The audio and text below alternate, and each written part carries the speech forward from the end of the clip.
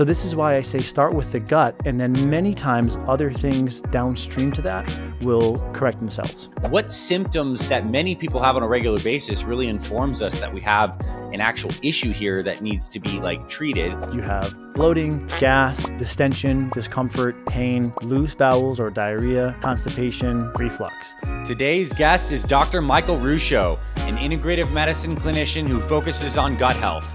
We discuss how gut health impacts our cognitive function, our hormones, our energy, and even sleep. And we dive into the science of optimum nutrition for gut health, the best types of probiotics, and so much more. One study found about 20% of the population has a fungal overgrowth. Irritable bowel syndrome, that's 15%, maybe 20% of the population. This is how we see connections between I'm bloated and I feel foggy and tired, or I have loose bowels and I'm not sleeping well. Dr. Michael Ruscio, welcome to the podcast, my friend. We're so happy to have you here. Glad to be here. Thanks for having me.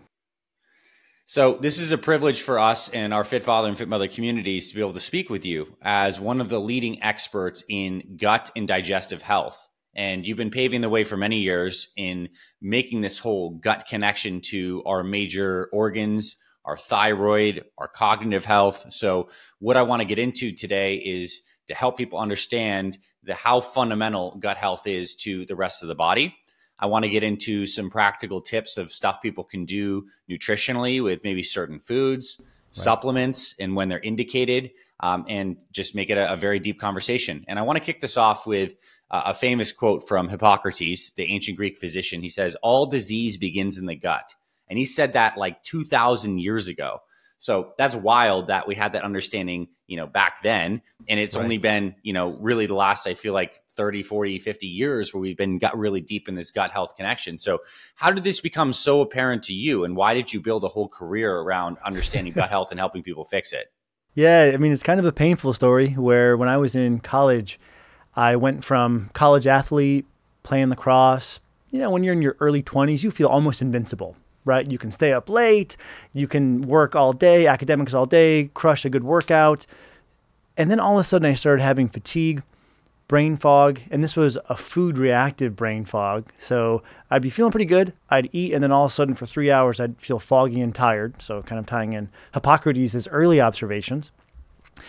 Uh, I was having low mood but I was doing all the things. And I know you do an awesome job with your audience about sleep and lifestyle and, and sort of slowing down. So, all organic food, chewing my food thoroughly, but still, I went from feeling really healthy to quite poorly in the matter of just a few months.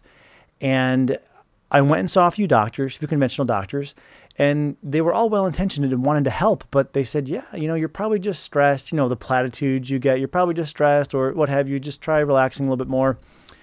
And I found my way into alternative medicine, and a clinician suggested that he thought I had an inflammatory or infectious issue in my GI, and it turns out I did. I picked up a critter, and it, it's an it was an amoeba which can be quite pathogenic. And it was causing major problems with how I digest and assimilate food and a local inflammatory response in the intestines.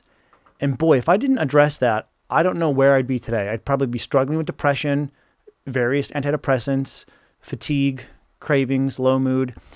And so then I, I, took that experience and diverted my path into helping other people with the same thing I was suffering with, which was feeling like I was doing all the things, but still hitting this roadblock of just not feeling like myself. And for me, the the linchpin there was really improving the health of my gut. Hmm. That's and where do you think? I just out of curiosity, you picked up that amoeba. Like, where did what? Do you know have any idea of the cause of that?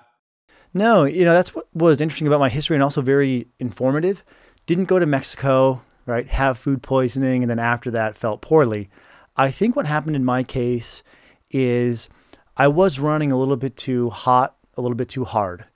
I was in a rigorous academic program. I also had started my own side business and I was just going, going, going, going, going, very type A, enjoyed working hard, enjoyed the feeling of working hard. And I think over time, that just weakened my immune system. And so it was not so much the germ, but the terrain. And we see this in athletes, right? Um, athletes after a big race oftentimes will have increased viral load, increased bacterial load. and so it, it's definitely something to cue in on is if someone's running too hard and they're not allowing adequate recovery then their shield go down in a way. And these things that normally just pass through because there's always these things in the environment that are trying to kind of establish residency in us because we're a convenient host right? We provide food shelter and water.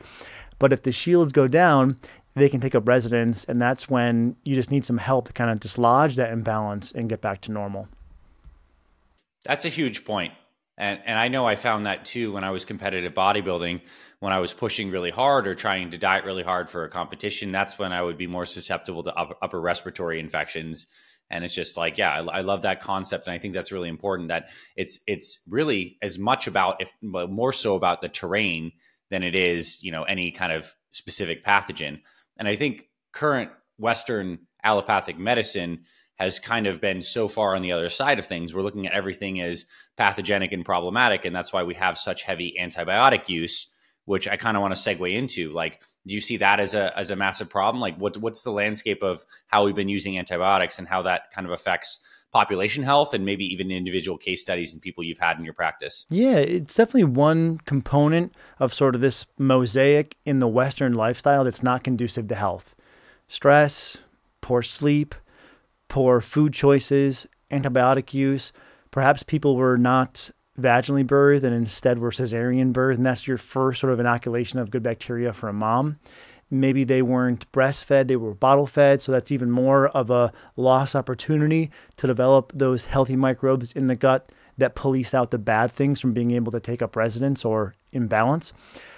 So, yeah, all these things collectively um, have really set the stage for people in westernized societies to have more issues in the gut. And, and when we look at some stats, because it is important, you know, to sort of take the philosophy and then fact check it against science. And this is how we kind of weave back and forth to, to get rid of any incorrect philosophies in our perspective. But if you look at irritable bowel syndrome, that's 15%, maybe 20% of the population. One study found about 20% of the population has a fungal overgrowth. Uh, mm-hmm. Women in their reproductive years, 75% of them will have vaginal candida at some point. Now, one bout isn't a huge deal, but if there's been recurring bouts of candida or fungal overgrowth, then all these things start to paint the picture that something in the GI is is sort of out of whack. So yeah, antibiotics are are definitely one of a few things that are not really putting us in a very strong position. Yeah, I'm, I'm glad you expanded that out to that that bigger picture there.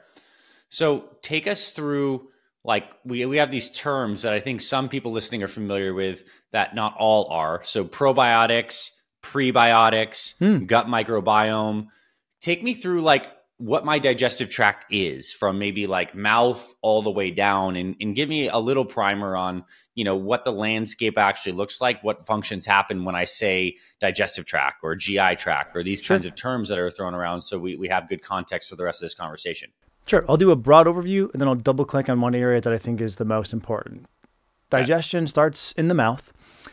From there, you go to the throat, stomach. Stomach is where you release acid. This really starts the digestive process. Some people have insufficient acid, as one example, and that sort of poses a risk down the line. From the stomach, you go into the small intestine. The small intestine is 22 feet in length. It's really important because this is where 95% of calories and nutrients are absorbed. Then you go to the large intestine, you pull out some salt and some water, rectum, and then you pass your bowels. The key part here, uh, and pardon my excitement, but it's just it's just so important, is the small intestine, 22 feet in length, whereas the large intestine is only five feet in length.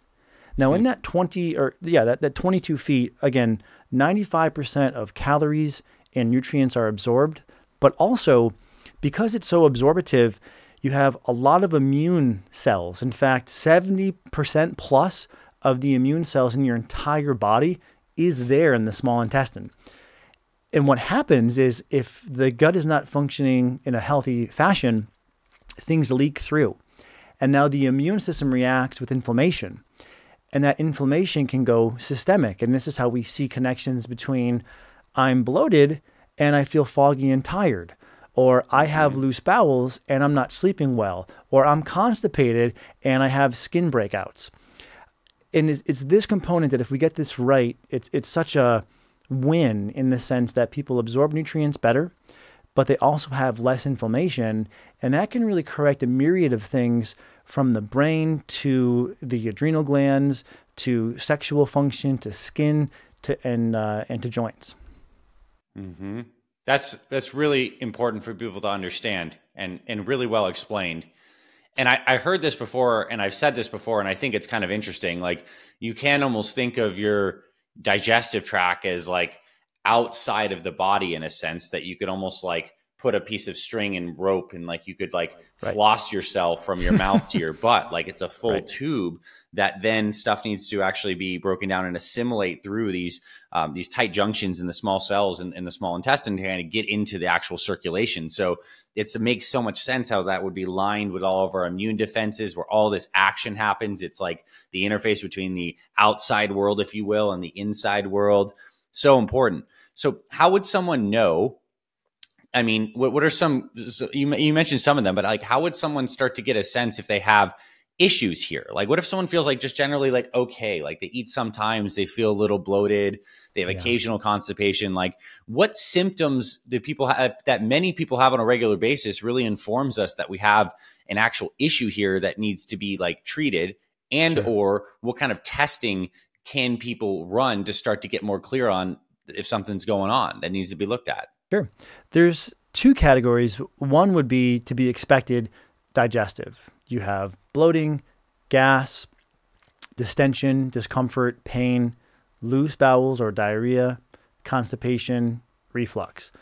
All these are obvious flags that there's something going on in the gut. Now, every once in a while, okay, we're human, right? No one's going to feel perfect all the time. So if it's once or twice a month you feel a little funky, or maybe you had a really big meal with some drinks or spicy food. Okay, you know, a little bit of feeling there, a little bit of symptomatology, not a huge deal. But if it's happening on a weekly basis or a daily basis, definitely something to cue in on. The other that's sneaky is when there's not much in the way of digestive symptoms, but you're seeing things like I feel tired in the middle of the day. I don't sleep well. I have fogginess. I uh, have joint pain that kind of comes and goes. I have these skin breakouts that you know that they kind of come and they go. I'm not sure. Maybe some foods trigger them, and, and especially for noticing food reactivity. Uh, but one of the important concepts I learned way back when I had my issues, I had no real digestive symptoms. I didn't have loose bowels. I didn't have pain. For me, it was all neurological. I was tired and I was depressed and I wasn't sleeping well. And that was a huge sort of aha for me because sort of in, in sort of the uh, conventional textbooks, you're going to see, well, if you have IBS, it's diarrhea, and it's, it's very sort of in the box, this cluster of just GI symptoms. Modern research is starting to show the connection between the gut and non gut symptoms, like in a model of what's known as silent celiac, this is a full blown autoimmune reaction to things like gluten. But for some people, they only have neurological or joint symptoms. So it's a pretty wide swath of symptoms that could indicate there's a problem in the gut. The way I would recommend your audience thinks about this is kind of like me. If you're doing everything right and you still have symptoms, I think the first place to look is to your gut as a potential culprit. And just to tie one thing to this, because I'm sure your audience has heard about the adrenals and cortisol, it's been documented that if you correct an imbalance in the gut, the cortisol output fixes itself. So, this is why I say start with the gut, and then many times other things downstream to that will correct themselves. Yeah, and then I guess like if you do have inflammation, I think it, it could be a number of things, right? One, you could have a, a pathogen or an overgrowth or a dysbiosis like you effectively had.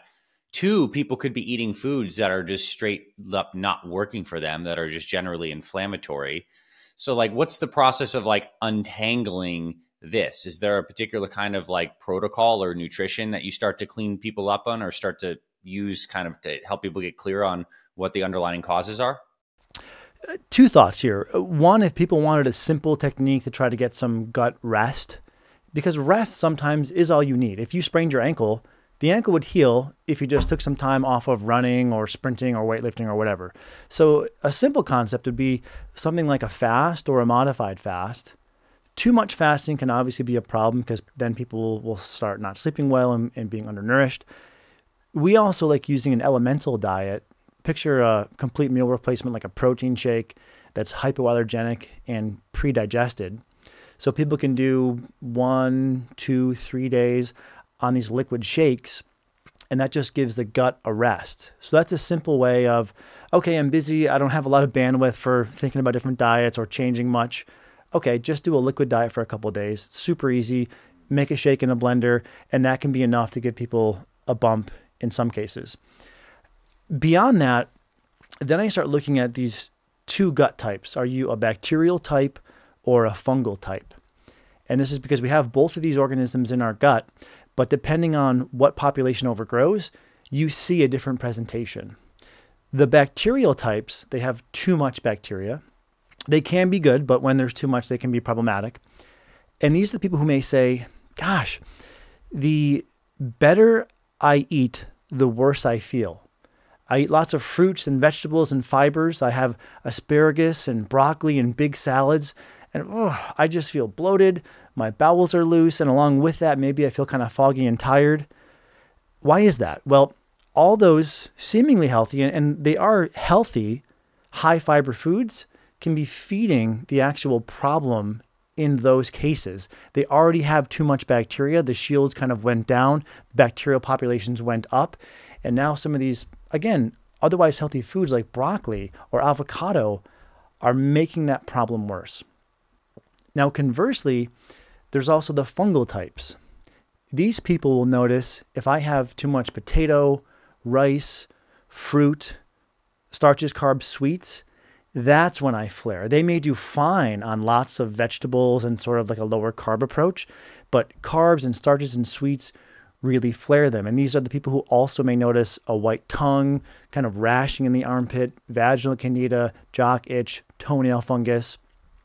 And knowing that can give you the okay, we're going to go in one of two dietary directions as kind of a temporary rehab plan. Eventually, we want to get you back to a broad, healthy diet, which is what I really appreciate about your approach. You're not dogmatic on like one diet plan. You, you got to be vegan, you got to be carnivore, you got to be low carb, but rather, let's find the rehab diet that's going to get that ankle healthy and then get you back to healthy activity or get you back to sort of a broad omnivorous diet that appeals to you. I love that framework. It's really exciting, just a nice way to think about it. And I would love to kind of give some give me some examples in both of those categories. So maybe we start with the fungal type first, which many people have heard this as like candida being a main fungus, but I'm sure there's other ones that people could have overgrowth of. And so if someone feels like they have the white tongue, they feel bloated, they eat sugar, they feel digestive symptoms or other symptoms, what would be like a remediating or rehabbing diet for a person in that category? And we do have some resources here. If people wanted to double click on more specifics, we have a self assessment questionnaire that will give you a scoreable list. So, depending on how many things you say yes to, you get a quantification of low risk, medium risk, or high risk for candida, and then a candida diet. Now, one of the challenges if people go online and, and they search candida diet, there's always heretics out there who want you to go to an extreme dietarily, and this can be a problem because while carbs can be a problem, if you go too low carb, especially women, they may notice they have low energy, they don't sleep well, their hair starts to thin. So it's just more so about looking at the carbs that aren't super rich in sugars and starches so that you don't feed the candida, which is the main organism that overgrows. But practically, what this is looking like is instead of white rice, you have brown rice. Instead of lots of white potato, let's say as chips, you have sweet potato. Instead of banana and mango, high sugar fruits, you have berries. So some of these little shifts in the diet can steer you away from a much more carb and starch rich diet. And obviously things like cakes and sweets are definitely a no-no for this group. And focusing on more of the, the lower glycemic index or lower glycemic load carbohydrates, at least for a term. And I should mention that diet is really powerful here. There was one study that gave people either an antifungal drug or the drug plus diet. The people that combined the drug with diet had twice the clearance rate of candida. Twice. So, you know, sometimes people think, oh, like I got fungus, I need to zap it out. Maybe, right? But we can't uh, overlook how pivotal diet is in helping to assist the microbiome in getting back to balance. That's awesome.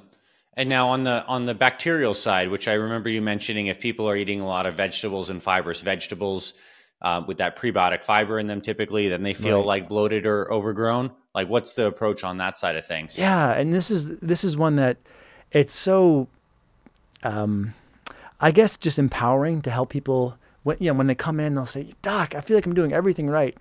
Yet I'm, you know, I'm still having all this bloating and food reactivity and loose bowels or constipation. And just a little pivot here can unlock so much healing and so much improvement. The main dietary change would be what's known as low FODMAP, F O D M A P. It stands for fermentable oligosaccharides, disaccharides, monosaccharides, and polyols. That just means the carb structure is either going to be really conducive to feeding bacteria, and if it is, we want to avoid those, or not very conducive to feeding bacteria, not high in prebiotics. So, a couple examples there high FODMAP foods to be avoided, high prebiotic foods to be avoided would be broccoli, asparagus, cauliflower, but rather you should focus on spring mix, kale, uh, thing, you know, berries, another good example, uh, whereas apples are kind of high FODMAP. Uh, and we have food lists available. There's a great app from the University of Monash who's pioneering a lot of the research here.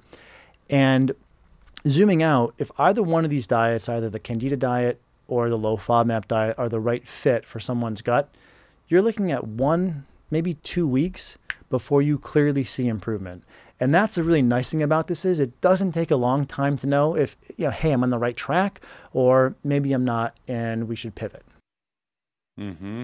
And that's, I think, a really important point you brought up. It's like you're not saying these are the diets that people should follow. It's that we need to take ownership and be experimental with our own bodies to figure out what actually works and test these things out right and and see how symptoms change and then we kind of weave it in like i'll just reflect in my life i, I do recognize that there's just certain vegetables that i eat where i feel bloated and, and not as good. Um, but i wouldn't say i necessarily follow low fodmap because i'm eating a lot of like uh, jicama asparagus and some of these very heavy uh, like green tip bananas. Like these are all heavy mm. prebiotic foods which work with me great and i feel better when i have them. It's just certain foods won't feel good for certain people and then at certain times as we get healthier.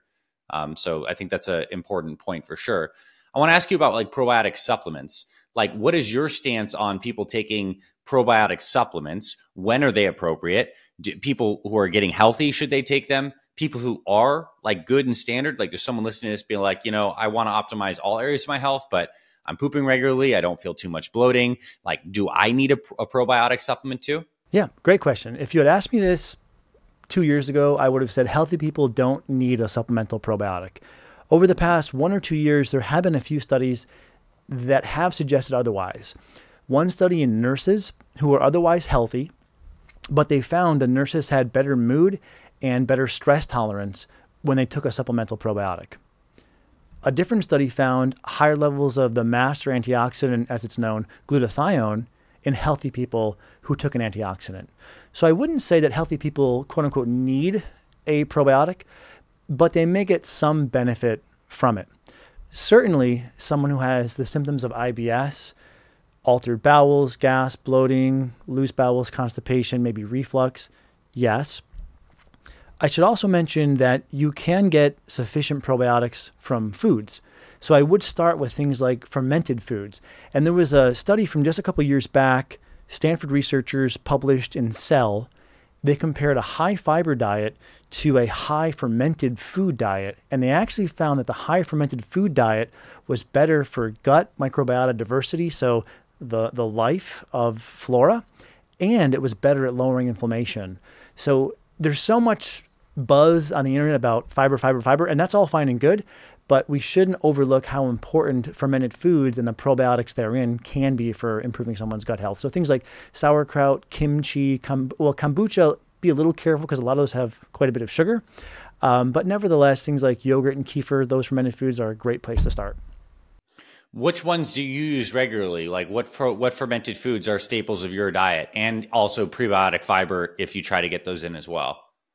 Yeah, I, I actually really like making a salad with spring mix, and I'll add a fresh squeezed lemon to it, and then mm-hmm. one or two scoops of sauerkraut, and then one or mm-hmm. two scoops of beet kraut. So that gives you nice. some of the reds coming back to uh, oh, we didn't hit on this yet. So the, the polyphenols, the antioxidants in foods, eating the rainbow, different colors will give you various antioxidants. So the beet kraut made from beets gives you a different antioxidant profile. It also gives you the probiotics, and beets are also helpful for circulation and creating nitric oxide. So that's mm-hmm. been a go-to for me. Plus, I really like a good yogurt, and sometimes I'll do kimchi. Kimchi is the highest in prebiotics. Uh, I'm sorry, mm. probiotic. So the most potent yeah. would be would be kimchi. Nice. Yeah, and I, and I recommend this to people is like you you should have your best in slot fermented food that you have regularly. Mine is mine is sauerkraut that I have a lot of. Um, sometimes kimchi as well, but it's cool to know that you make the salad. I make a similar salad. Uh, that's just that's just fun. I, I love hearing that. Um, and something I've heard you talk about before is like different types of probiotics. And I think right now there's just so many different types of probiotic strains that you could take. What is your thought on this? Like, what's some right. categories and how can we wrap our, our heads around what types of probiotic supplements are really solid?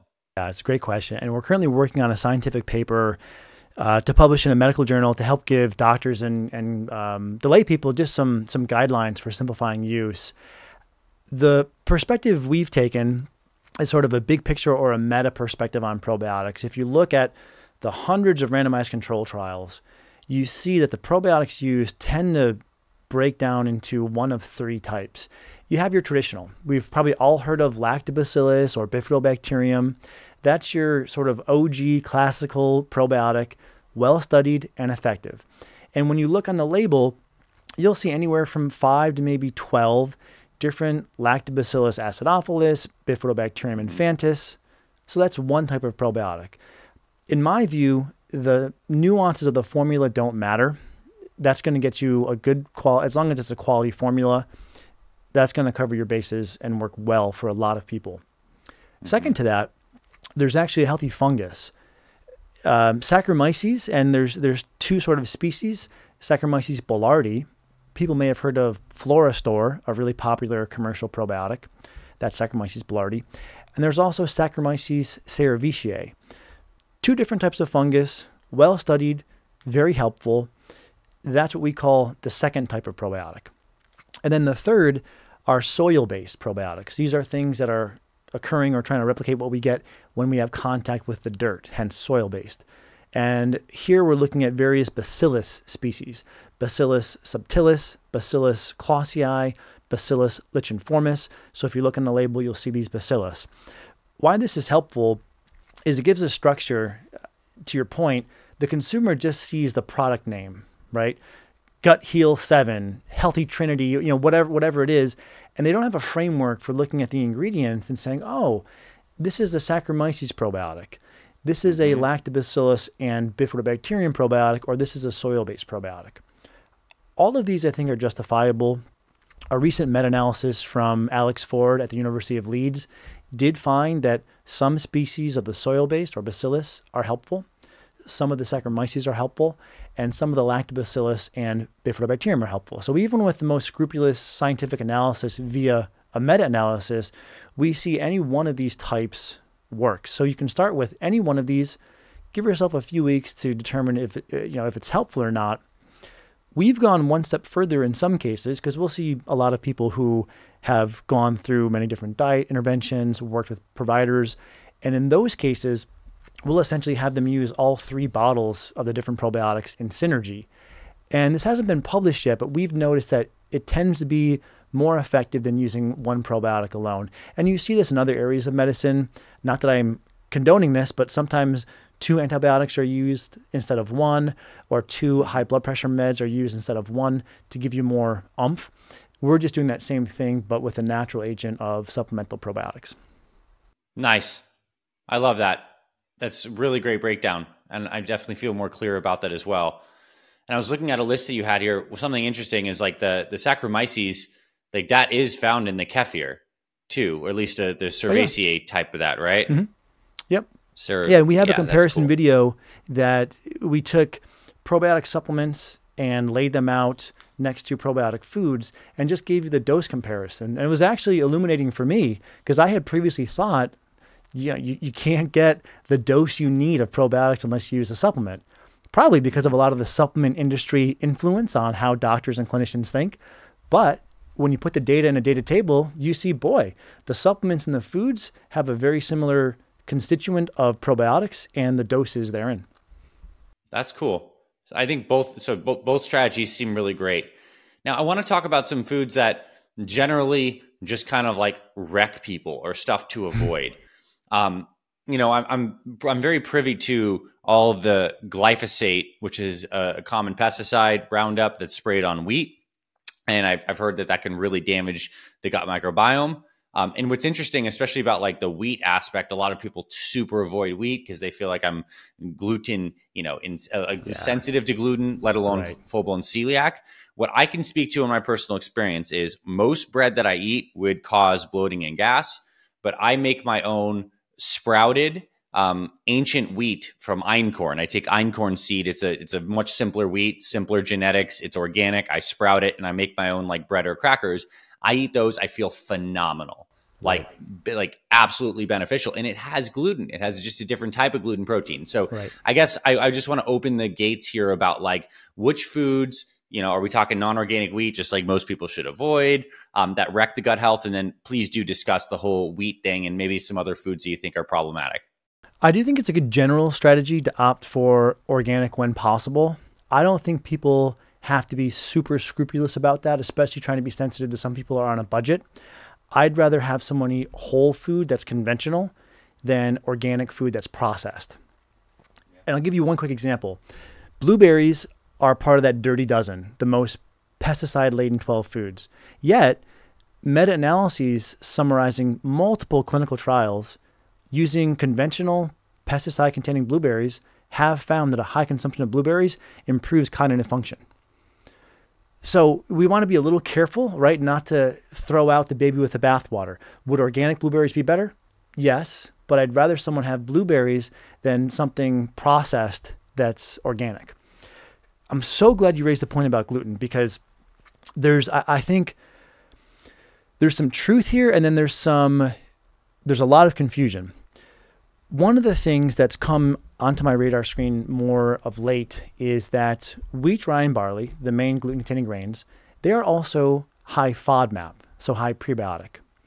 I think this explains why so many people, when they go gluten-free, notice they feel better. Now, the prevalence of non-celiac gluten reactivity, it's known as NCGS, non-celiac gluten sensitive, Studies vary, but it's anywhere from 1% maybe to 10% of the population, probably around 5. So that is something. But the thing here that I think is really important to bear in mind is that when people go gluten free, they're also going to reduce FODMAPs, and that's probably accounting for, I think, the majority of why people feel well. Why does that matter? Because FODMAP tolerance is recoverable. So the huge gift here for people is you can go on sort of that rehab low FODMAP diet as your microbiome balances, as that overgrowth theoretically corrects. You should be able to bring back in some gluten and tolerate it better. Save maybe that 5% of people who have an allergy to the protein. Those people will probably never do well with gluten, but that's probably a smaller cohort. In the larger cohort, it's just that the, the wheat, the rye, and the barley is feeding that overgrowth. If we can correct that, if nothing else, even if you don't think gluten is a is a healthy food, you can be at a dinner and try the pasta or have some bread and if nothing else regain some of that food freedom that maybe you do have some tolerance to gluten that you didn't otherwise appreciate before. Nice. And and this is anecdotal stuff, but what about the stories where people are like, "Man, our family went to vacation over in Europe. We ate the bread in Italy or the pasta and I felt fine." Like what do you make of those kind of stories are they strictly anecdotes is there some basis to this and i'm kind of getting back to is there a pesticide thing is it is it like different genetics of the wheat that people are eating that might be problematic because they I'm would technically yeah. have the same similar FODMAP profiles, I would imagine, just in the nature of being wheat, barley, etc. Well, I'm going to make a few assumptions here, and this is on our list to research. I try to be really careful about what I've fact checked firsthand and what is more anecdote. So here, just anecdote again, it is on our list to sort of rigorously fact check this, but I'm assuming that the processing, you know, there's more processing, there's more probably additives, less fiber. That's probably one component. And the pesticides could be another. I'm just, I'm not sure. So maybe. But the other mm-hmm. thing to bear in mind with that is if people are going to Europe, they may be under less stress, spending more time with friends and family. Sure. They may have had an opportunity to reintroduce with a healthier gut after avoiding gluten for a while, regaining that mm. balance, and now they have FODMAP tolerance. So they may have just discovered that it was the FODMAPs. There, there do seem to be some people who have really tested this and said, well, when I came back to the US, I tried gluten again, and you know, I, I was okay in Italy, but I wasn't okay here. So I do think there's something more here, and I'm not quite sure what the answer is just yet. That's a that's a very fair answer. I appreciate that. Now, what about um, what about artificial sweeteners? You know, I think there's a lot of people that were first like, oh, you know, calories are all that matter. It's not a big deal if you have sucralose, aspartame in your in your drinks. And now I think I've seen stuff come out and certainly headlines that's like you have artificial sweeteners. It could potentially damage your gut microbiome. You know, you're getting some degree of like precephalic insulin secretion. It might dysregulate your blood sugar. Like, right. what's your take on the GI connection to artificial sweeteners? And are there some that are better than others? Yeah, this is something I've changed my mind on over the past few years. So when I wrote Healthy Gut Healthy You in 2018, I referenced what was known as the San Antonio Longitudinal Study on Aging. And they did find that increased artificial sweetener consumption directly correlated with increased waist circumference. So that to me was very damning and led me to say, be careful with artificial sweeteners. But more recent meta analyses, and maybe just taking a step back, what a meta analysis is, is researchers will look at all of the quality randomized control trials that are looking at an issue and they'll summarize all of them.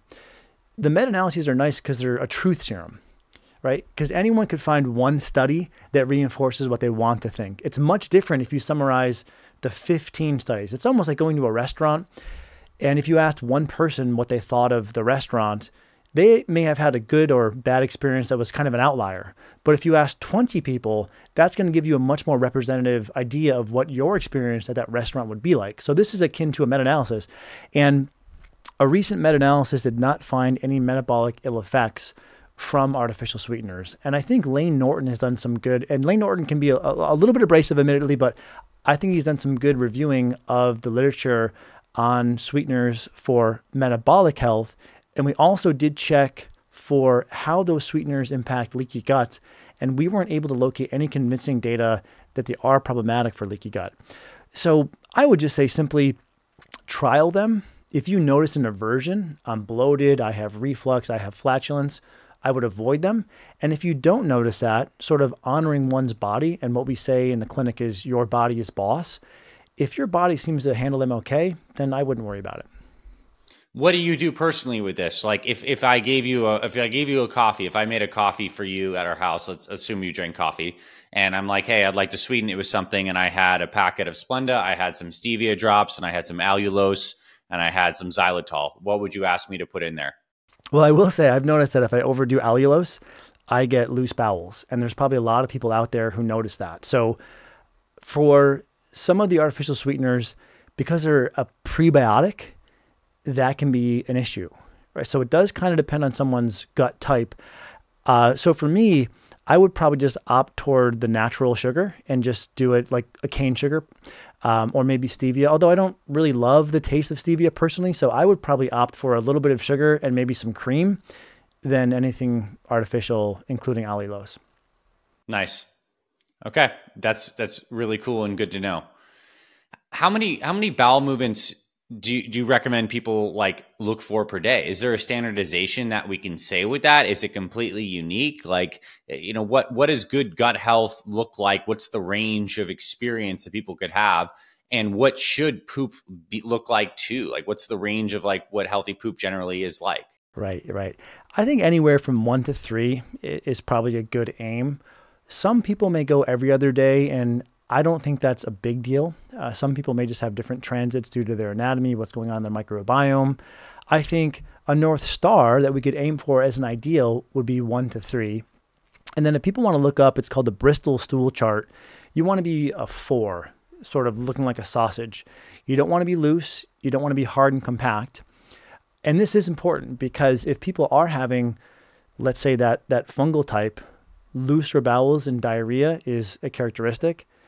And then with bacterial types, they can skew either way. Some people will have constipation, some people will have diarrhea. So looking at the form of your stool and looking for that torpedo, so to speak, is a good indication that things are working well up the line.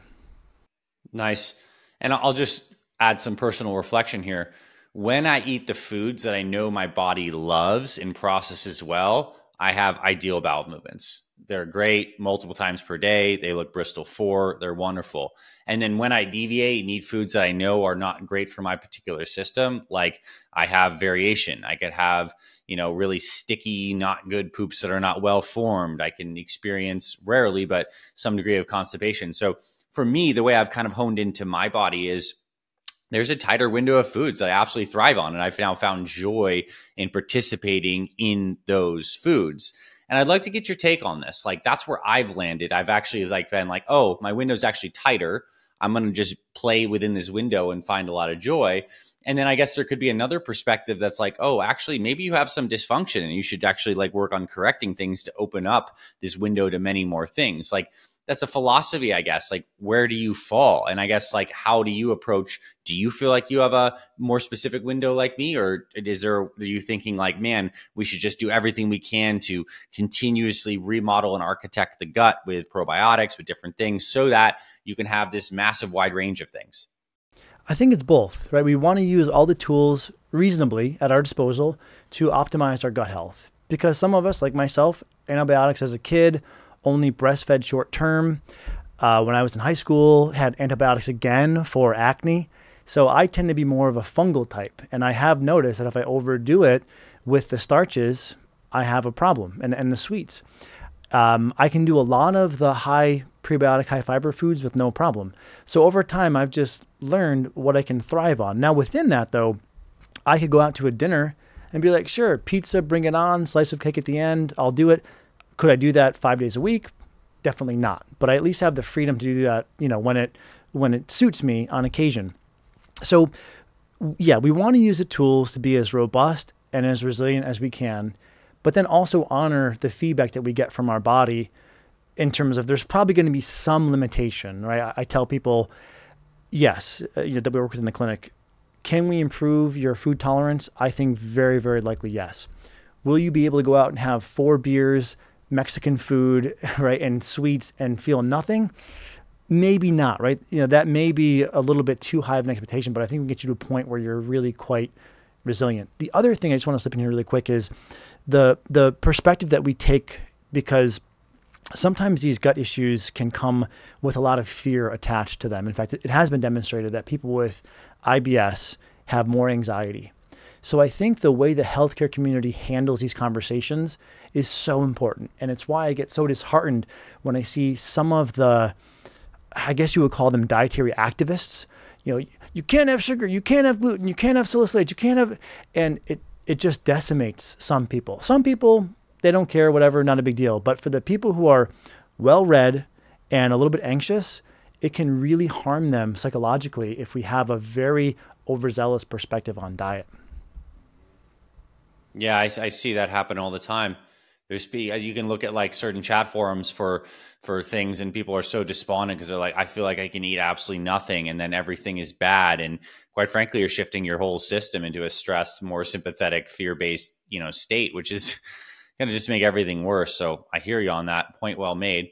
I only have a few more questions as we as we wrap this up. One is, what is your take on um, the super high meat, super low carbohydrate diet trend right now? So people eating like carnivore diets with like very little fiber um, whatsoever. I look at that as a short term elimination diet that for some people, that can be quite helpful. For the people who are incredibly food reactive, as a keynote here, short term extreme elimination diet, almost like taking a low FODMAP diet or a Candida diet to an extreme. But I really think it's a mistake to make the claim that this is a healthy diet that people can thrive on. You know, we are omnivorous. If you look at our GI tract and if you look at the anatomy of a carnivore next to an herbivore next to us, we are clearly omnivorous. And this is why I think some of the the gurus in, in carnivore have been over time allowing a little more carbohydrate to creep into their diet because even if you go to a hunter gatherer perspective, to my knowledge, no hunter gatherers actively practice a carnivore diet.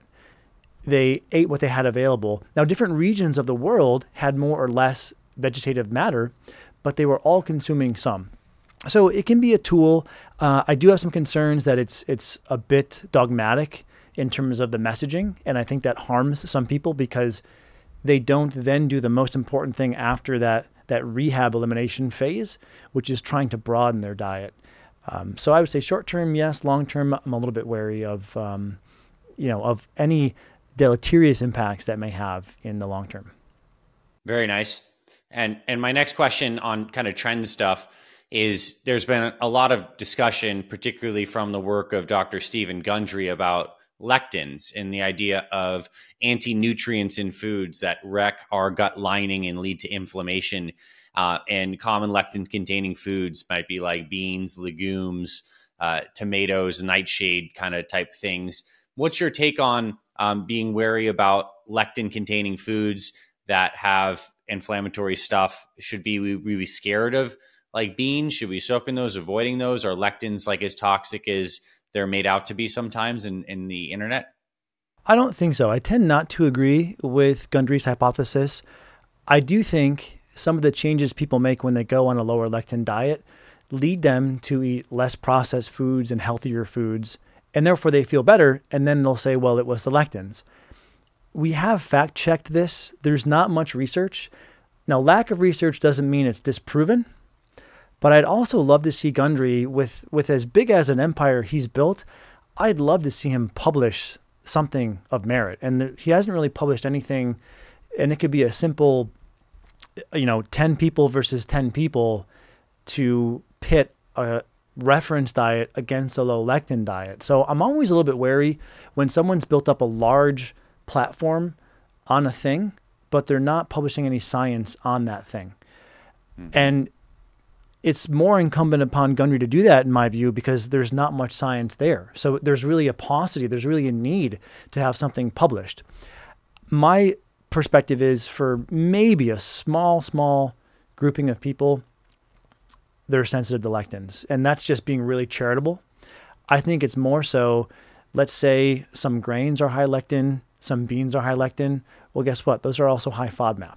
So I think it's much yeah. more likely the FODMAP than it is actually the lectins. And I'm happy to be proven wrong there, but as it currently stands, I, I can't say I agree.